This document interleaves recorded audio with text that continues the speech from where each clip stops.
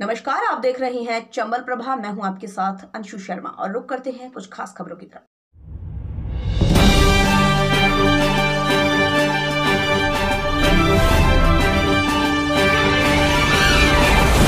अट्ठाईस मार्च 2022 को बाड़ी उपखंड मुख्यालय के डिस्कॉम कार्यालय में दो इंजीनियरों के साथ हुई मारपीट के मामले में विधायक गिरिराज सिंह मलिंगा का मुकदमे में नामजद होने के बाद लगातार आक्रोश भड़क रहा है। नगर पालिका पार्षदों के बाद आज सोमवार को पंचायत समिति के सभागार में समस्त सरपंचों ने बैठक कर लामबद्ध होकर उपखंड अधिकारी को ज्ञापन दिया। ज्ञापन के माध्यम से सरपंच संघ ने विधायक गिरिराज सिंह मलिंगा को मुकदमे में झूठा फंसाने के पुलिस और प्रशासन पर गंभीर आरोप भी लगाए। एसडीएम राधेश्याम मीणा को मुख्यमंत्री के नाम सरपंच संघ अध्यक्ष रामधीर परमार के नेतृत्व में ज्ञापन देने पहुँचे। सरपंचों ने बताया कि 28 मार्च 2022 को बाड़ी डिस्कॉम कार्यालय में एएन हर्ष दीप्ति के साथ मारपीट हुई थी। उक्त घटना में बाड़ी विधानसभा क्षेत्र के विधायक गिरिराज सिंह मलिंगा का नाम राजनीतिक अदावत के चलते दिया जा रहा है। ज्ञापन के माध्यम से बताया कि एएन द्वारा विद्युत निगम के उपभोक्ताओं के साथ जाति की जा रही थी इंजीनियर द्वारा उपभोक्ताओं की उल्टी सीधी बीसीआर भरकर अवैध वसूली की थी। उपयोग से अधिक रीडिंग बिजली उपभोक्ताओं को भेजकर अवैध वसूली कर समायोजित किया जा रहा था, जिससे इलाके की जनता भारी परेशान हो रही थी। ज्ञापन में कहा गया कि इंजीनियर की शिकायत विधायक द्वारा, उच्च अधिकारियों एवं सरकार द्वारा भी दी गई। लेकिन सिस्टम और शासन ने समस्या को गंभीर होकर समाधान नहीं किया। इलाके के लोग इंजीनियर हर्षदीप्ति की कार्यशैली से भी भारी परेशान थे, जिससे इलाके के लोगों में भारी आक्रोश भड़क रहा है। 28 मार्च 2022 को इस मामले को लेकर उपभोक्ताओं द्वारा डिस्कॉम कार्यालय में पहुंचकर हमला भी किया गया था। उन्होंने बताया कि घायल अवस्था में तत्कालीन समय पर इंजीनियर को जिला अस्पताल के ट्रूमा सेंटर में भर्ती कराया गया, लेकिन तत्कालीन समय पर इंजीनियर ने विधायक गिरिराज सिंह मलिंगा को घटना में नामजद नहीं किया था। आगरा के निजी अस्पताल में घटना के दूसरे दिन विधायक का घटना में नाम जोड़ा गया। घटना में बताया गया time. साथ ही ये भी बताया गया है कि ज्ञापन में बताया गया कि मारपीट की घटना में विधायक राज सिंह मलिंगा को नामजद करना पूरी तरह से राजनीतिक षड्यंत्र है। उन्होंने कहा कि विधायक गिरिराज सिंह मलिंगा विधानसभा क्षेत्र से लगातार तीन बार चुनाव जीत चुके हैं। ऐसे में उनके राजनीतिक दुश्मन सियासी दुश्मनी व निकालने के लिए इंजीनियर हर्ष दीप्ति को मोहरा बनाकर विधायक गिरिराज सिंह मलिंगा को मुकदमा में झूठा फंसाने की कोशिश भी की जा रही है। सोमवार को सरपंच संघ ने भारी तादाद में लामबद्ध होकर एसडीएम को मुख्यमंत्री के नाम ज्ञापन प्रेषित किया है।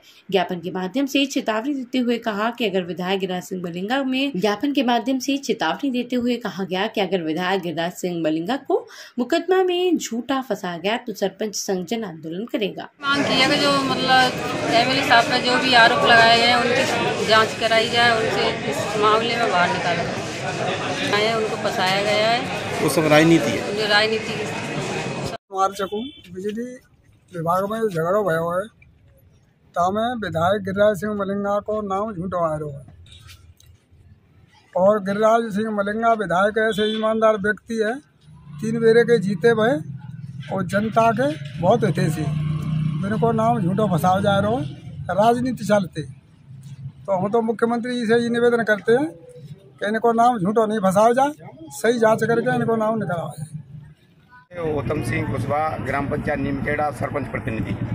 मैंने देखा है जो बिजली विभाग वालों का जो इतना बड़ा भ्रष्टाचार चल रहा है कि अगर घरेलू है तो हर व्यक्ति का चाहे एक बल्ब जल रहा है चाहे दो जल रहा है बिना मीटर के यूनिट निकाल रहे हैं ये। ए, किसी का महीने का तीन हज़ार का चार हज़ार का जनता पर थोप रखे हैं एक एक लाख डेढ़ डेढ़ लाख। और बिल भी भर दिए फिर भी गाँवों से डिब्बा ले आए हैं एक्सीजन और जे वगैरह। बहुत गाँवों से डिब्बे को उठा लाए हैं, बिना कनेक्शन के परेशान हो रहे हैं। बोर्ड की परीक्षा चल रही है। बच्चे पेपर के लिए परेशान हैं लाइट नहीं है तो। और इतना भ्रष्टाचार कर रखा है, ये ये नहीं है इन्होंने। कृषि का कनेक्शन हो तो बिल बड़ा बड़ा के दे देते हैं। ये क्या करते हैं कि सुधार करवा देंगे। तो दस दस, बीस बीस हज़ार रुपये घूस भी खा जाती हैं ये। धौलपुर में आम आदमी पार्टी, धौलपुर की युवा कार्यकर्ता धीरज कुमार दीक्षित के तत्वावधान में रामनवमी के पावन पर्व पर राम भक्तों को सर्वत्र वितरण किया गया। मौके पर पार्टी के सक्रिय कार्यकर्ता अशोक सिकरवार, राजकिशोर परिहार, धीरज दीक्षित सहरोली, राजकुमार बकेल राजवीर चौहान, लाखन सिंह मौर्य, मनोज कटारा, वहीं आशीष शर्मा, मोनू शर्मा, मनीष व रामगोपाल मंगल सहित अनेक कार्यकर्ता मौजूद थे।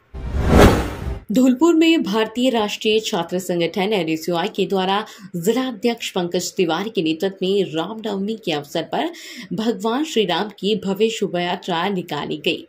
एनएसयूआई जिला अध्यक्ष पंकज तिवारी ने बताया कि भगवान राम सभी की आस्था का केंद्र है। वे जगत की कण कण में व्याप्त हैं। उनका जीवन अनुकरणीय है। हम सभी को उनके आदर्शों की पालना करनी चाहिए।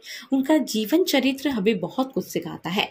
शायरी का स्वागत करने वालों में रामचित्र शर्मा, प्रभाकर तिवारी, किशोर, योगेश, आयुष, दीपक, आर्यन, दिवाकर सहित अन्य कार्यकर्ता एवं पदाधिकारी मौजूद रहे। धौलपुर में गत रात्रि देवी जागरण का आयोजन हाउसिंग बोर्ड कॉलोनी में किया गया, जिसमें सुरेंद्र म्यूजिकल ग्रुप के द्वारा मनमोहक प्रस्तुतियाँ दी गई। सुरेंद्र सिंह राजावत ने माता रानी का आवाहन कर गणेश वंदना कर कार्यक्रम की शुरुआत की। इस मौके पर नाल वादक शंकरलाल ऑर्गन प्लेयर बारेलाल, शुभम बंसल, सत्येंद्र आदि मौजूद रहे।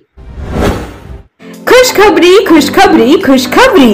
अब आपके शहर धौलपुर में Roto electrics private limited company के electric e bike e scooty e loader आ गया है।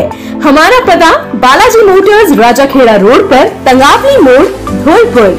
इंक्वायरी नंबर आठ दो शून्य नौ नौ सात सात छ दो एक। निवेदक सतीश दुबे। एक बार सेवा का मौका ज़रूर दें।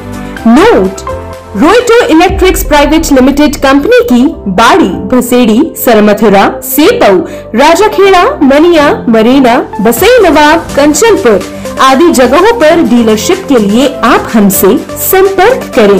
सतीश दुबे कॉन्टैक्ट नंबर नौ छ एक शून्य शून्य सात नौ आठ सात नौ।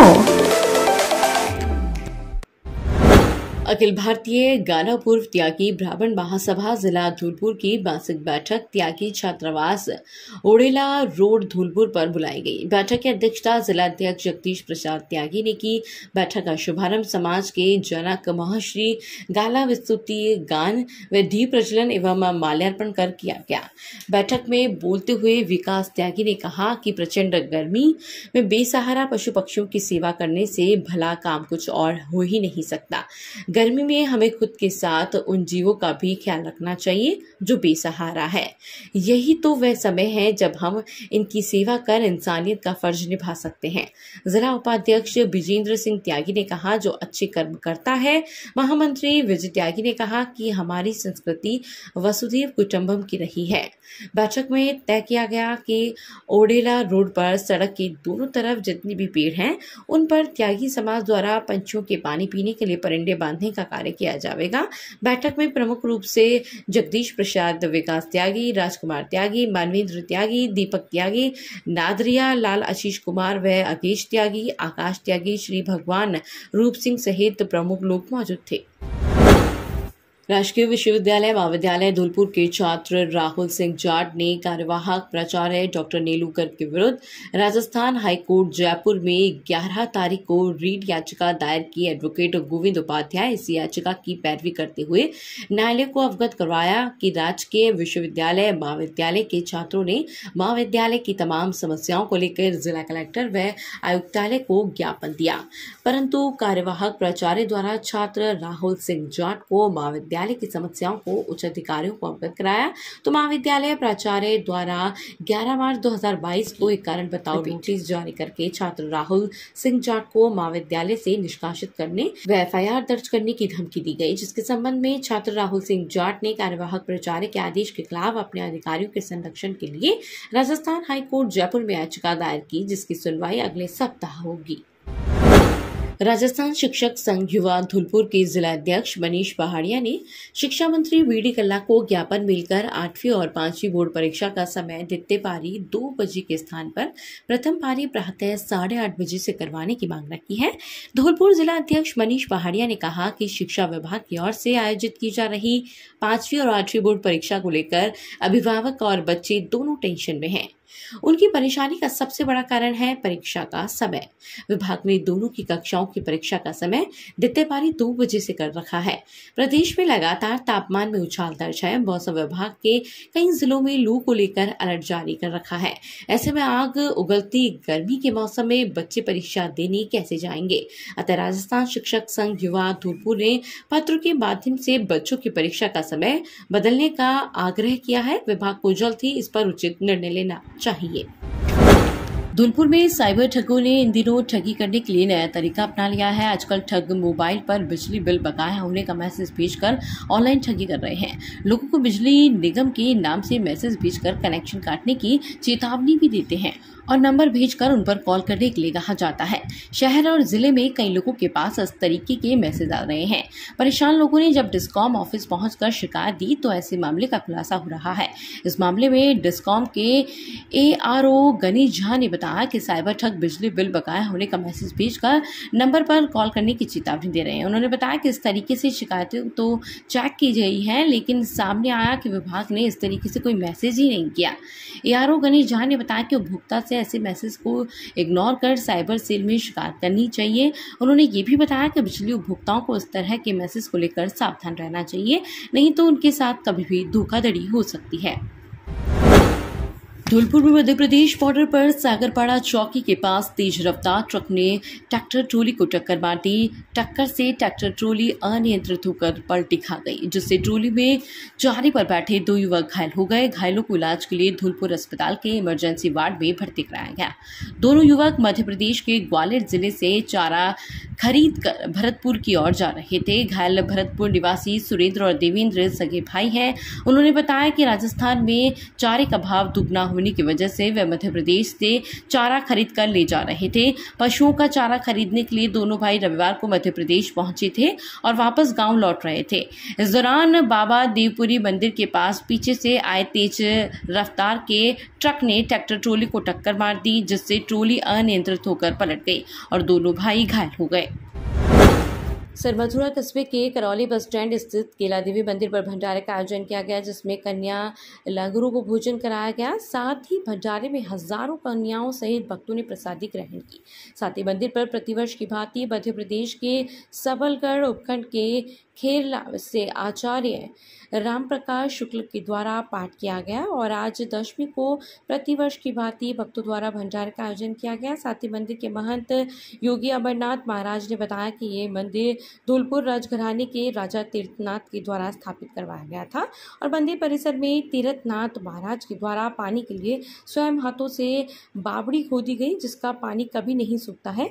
वहीं उपखंड सहित आसपास के ग्रामीण क्षेत्रों में भी मंदिर के प्रति गहरी आस्था है। साथ ही भक्तों के द्वारा गुरु पूर्णिमा, शरद पूर्णिमा, नवरात्रि सहित अन्य जगह पर, अन्य अवसरों पर भंडारे सहित कई आयोजन किए जाते हैं। सर मथुरा से विष्णु सोनी की इस पर खास रिपोर्ट।